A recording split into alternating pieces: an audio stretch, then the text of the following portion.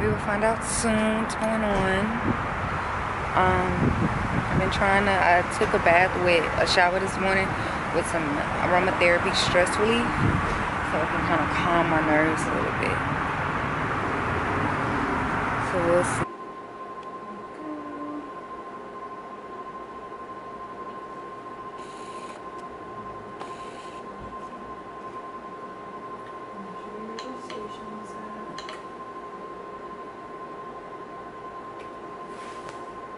It.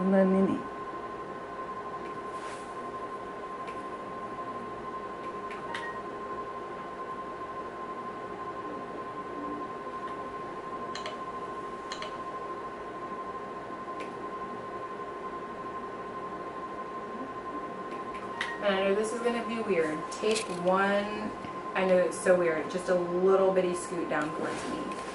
I know it's weird since I have the probe in you. Okay. But sometimes that can change what we see.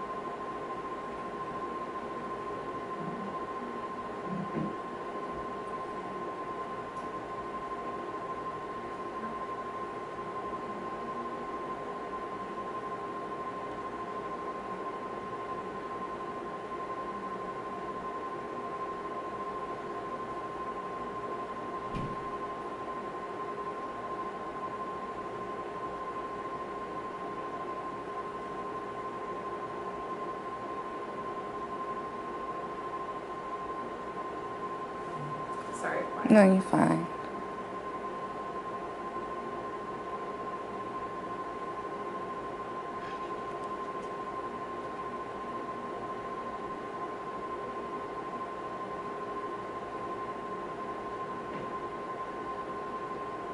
Alright, why? I'm gonna go get Catherine Okay. or Beth, just so they can make sure that I'm not missing anything. Cause I'm still not seeing anything in the gestational sac. Okay. And I just wanna make sure that it's not just me. Okay. Hi.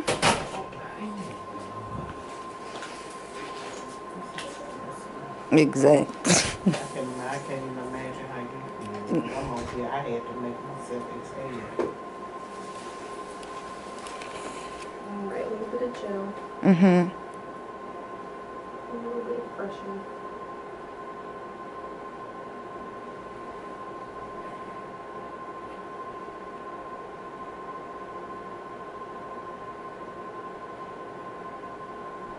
You already measured it? Yeah. What am I measuring it today? Six and two. And you're six and four.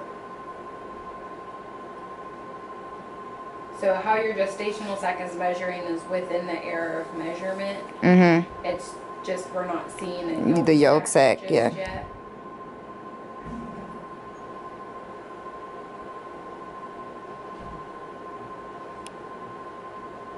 Yeah, I don't see anything inside of it either.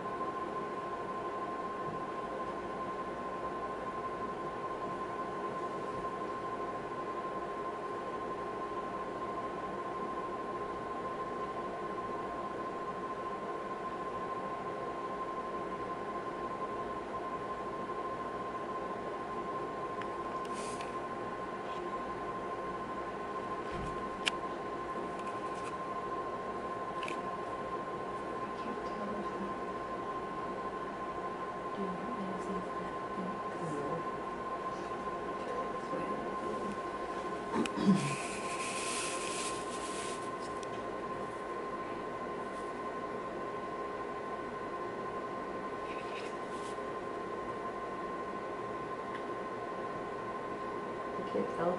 So this may look like a faint yolk sac. Do you see it kind of Mm, right? kind of, but it maybe? look like that stuff Yeah. passing through, like Yeah, the little. like all of this. So I don't Yeah. know if that is what that is or not.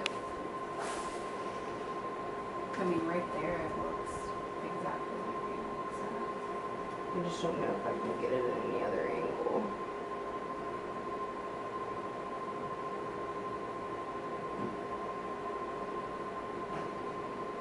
Yeah, I'm not sure.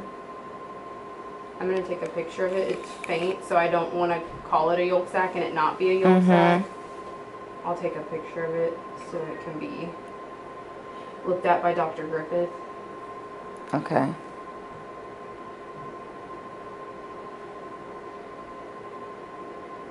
I can kind of see it there, but at the same time, I just don't know if it's the borders of the gestational sac being seen as I'm scanning through.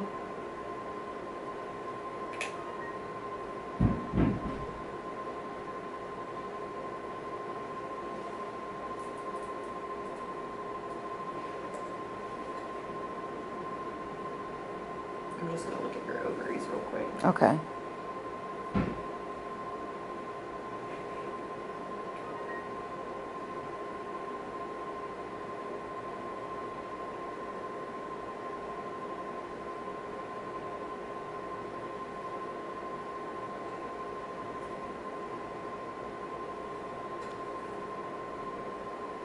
Sorry about the pressure.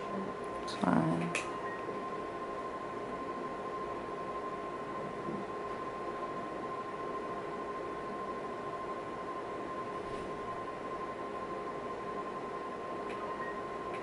Okay, I'm gonna go ahead and take this out. Okay.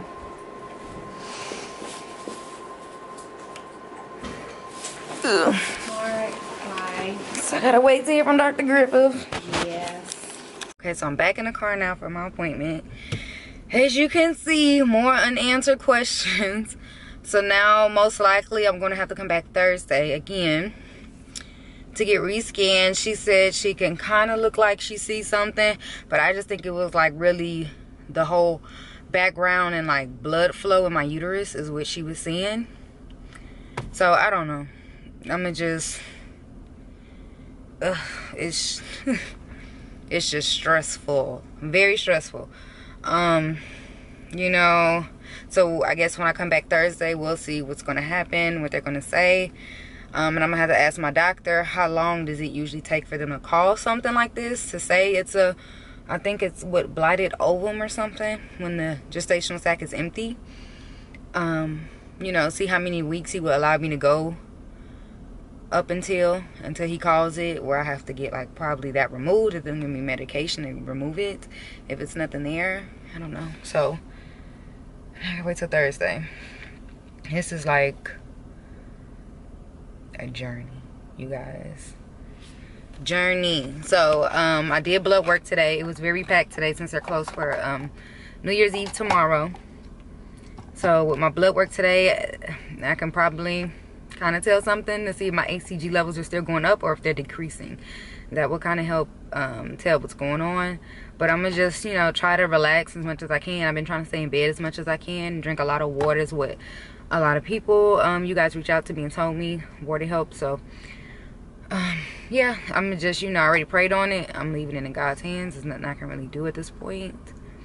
But just try to continue fighting. So, y'all will hear back from me Thursday. Like, I know this is not news y'all wanted to hear. This is not news I wanted to hear. I wanted to be more put at ease today, but you know, some things are really just out of our control at times, and that's just the way of the world. So, Thursday, I'm pretty sure Tony will be with me, and we will see what's going on. Hopefully, I get more answers from my doctor when he said Thursday.